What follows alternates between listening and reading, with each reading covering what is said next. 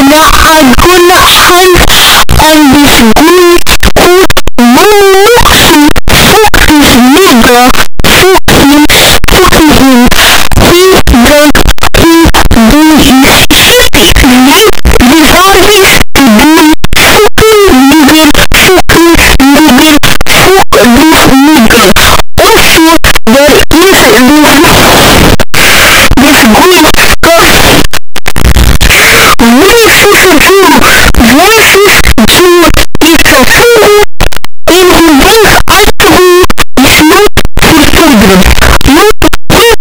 Mongoolse kinderen voor to Toegang, toegang.